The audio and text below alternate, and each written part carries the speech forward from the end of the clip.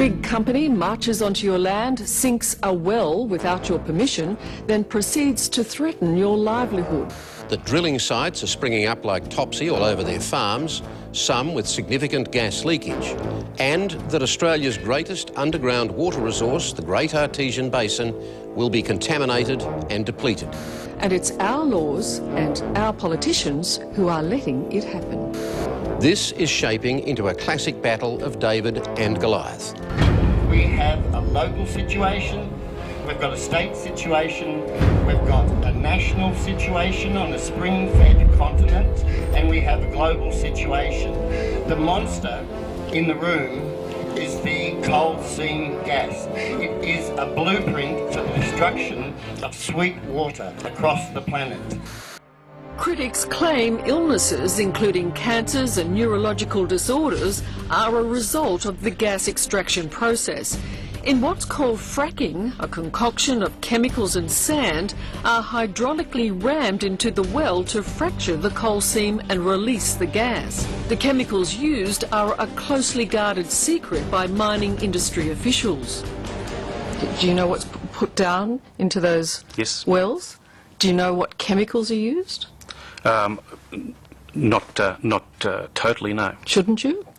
Uh,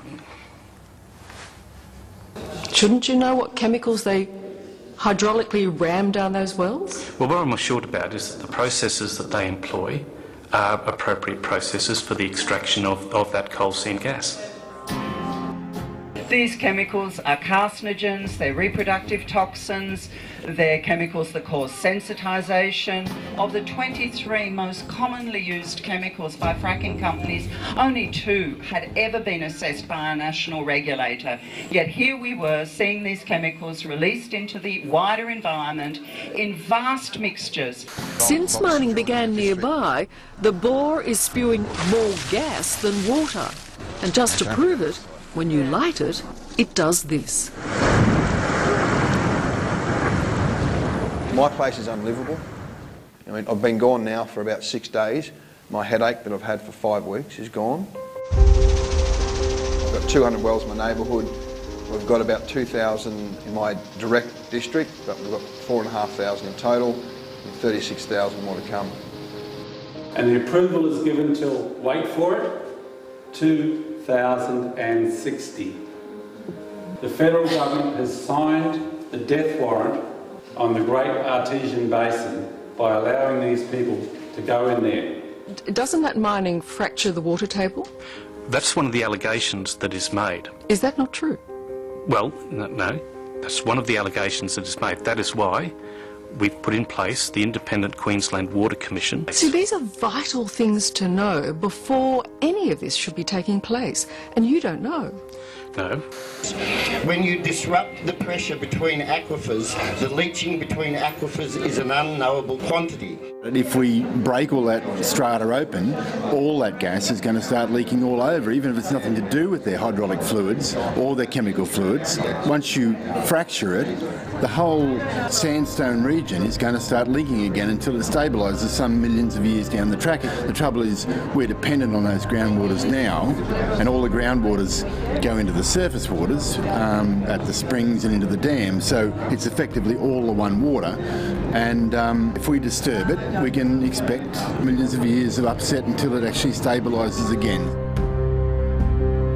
So when you start going under the ground and fracturing aquifers with multiple fracking processes, you are destroying the future for generations, and that's all living things. That's no understatement. All these things add up to a disaster and probably the greatest threat that Australia has ever faced the assault on our water supply, our sweet potable water supply. Certainly, if we get thousands of wells across the district, we almost certainly will lose the groundwater. For Australia, that is just absolutely crucial.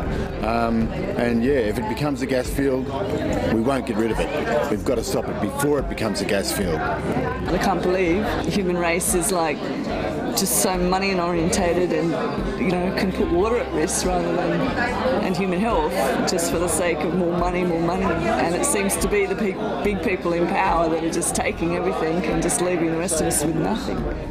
Queensland Gas Company, which is actually hiding under the banner of British Gas, have signed a $100 billion deal with China over a 30 year period. Uh, they want this gas out of the ground, they want it out and on the boats to China and India by 2014. And every day they're late, there's huge penalties for the for the industry, and for the companies. So they're pushing through at any cost. You know what I mean? It's, it doesn't matter about your land rights, land access. You know, their attitude is you're in our gas field, get out of the way. You're never going to get them to understand things when their salary depends on them not understanding it. You know, and to, to say that it's anything other than making money is insane.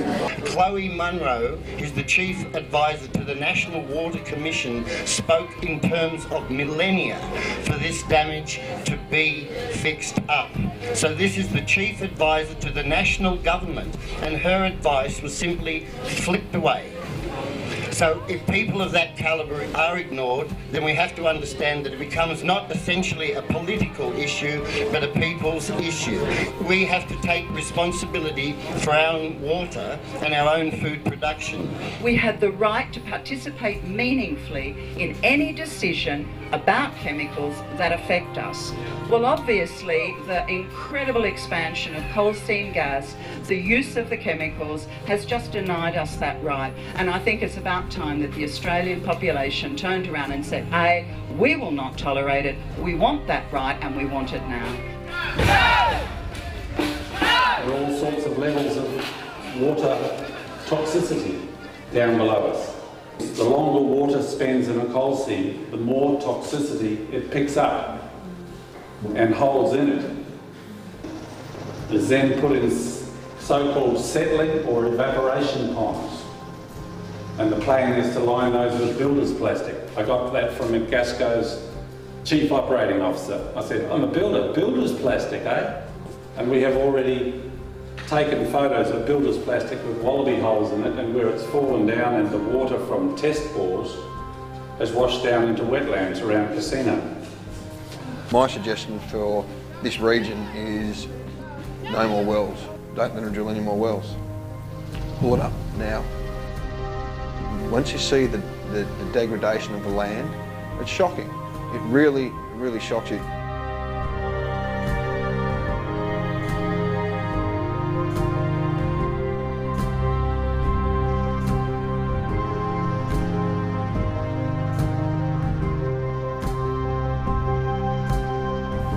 Don't want to let these people get their foot in the door.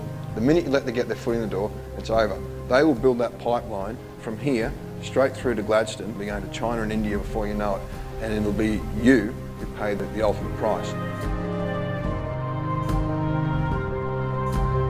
Who wants a pipeline running through your farm? What's that going to do to land values? The bank won't loan money on property that's got any mining concerns or any areas of land that are under investigation. People can't get a mortgage, they can't live on the land that they've got. What happens is with coal seam gas, it comes up with other constituent gases. Now, they'll vent them into the air. Some of them will flare them. Most of the time it is vented into the air, as you saw on the film. So uh, with the valleys and the moist air, the moisture catches onto the gas and it'll settle it. So it'll settle in all your valleys. It'll settle on your homes, it'll settle on your cattle, it'll settle on your children, your family, your neighbours, you know what I mean? In my opinion, if it gets going here, you're in more trouble than I am. We've got many groups writing to the government, writing to the, to the Premier. We have groups that are having regular meetings with the Premier. It's not stopping the drilling. They tie you up. They'll put you on a committee. They will get you and they will tie you up in, bog you down in paperwork, meetings. It'll go on and on and on and on and on. Then you'll get to a point, they'll have 400 wells drilled. It's too late then. You know what I mean? They will bog you down. There should not be one more well drilled in this district. And that's the line you have to take. The people that drilled the hole up in Keerong are Arrow, Shell, Oil, PetroChina. So when you see Arrow, and they'll put a nice little ad in the local community newspaper saying, Arrow for brighter futures for community groups. That means they're coming. Make no mistake, this is not the fight of our lives, this is the fight for our lives. And show the state and federal governments that you've had enough. If you get continue this on, you're in serious trouble. You really are. The, the, the wells that you have now, that's it. You no more. You've got to take that stand. Otherwise, you'll get in my situation and my land's unsellable, it's unlivable, it's over for us, but it's not over for you. Talk with your neighbours, talk with your friends, make it happen. Do not let these companies in. Badger your state government, badger your federal government, harass the companies. And they'll tie you up as long as they can, drill as many wells as they can. And they'll pay the landowners. In our area, they pay between $200 and $1,500 a well, and they're making a million dollars a well. There's a guy, we're, we're picketing on his land right now. He's lost about a quarter of his land, $1,500 a year. He's not allowed to even use the road. You know what I mean? They've put the road through, but he's not allowed to use it. It's ridiculous. We're second over money. Pressure your local mayors, your local members, you know what I mean? And the independents, don't forget these independents, these federal independents. Rob Oakeshott's now anti-CSG. Pressure these guys to, to make a stand. Get educated about what is coming and then get active. If there's an action called, be at the action because it's bodies on the ground in these places when they're called for that is going to make the difference and actually show these people they can't just walk in here and wreck the water. I'm not an activist. I'm not a greenie. I'm a mother. I have four beautiful daughters that I have spent 30 plus years raising to be good human beings. I haven't invested all that love for this to happen. I want them to have a future. I want their children to have a future, and I want their grandchildren to have a future. We want clean water. We want clean water. One thing you can do is walk out of here tonight and tell someone. You, you need to grow this movement and you need to grow it fast. Join Lock the Gate. I'm from the Lock the Gate Alliance and that encompasses 70 groups and we're getting a national movement happening but join your local group, go to your meetings, go to your protests and, and organise protests, organise blockades, you know what I mean? Don't let these people in the neighbourhood, go to their office. Don't wait for them to come to you and say, hey, we're going to put a gas field through here. You go to them and you tell them, we are not going to live in a gas field. We are not going to have compressor stations in our neighbourhood. You've got to stand up, you've got to be brave, non-violent, civil disobedience. It's the only way to do it. We've been through this and look at where we are now.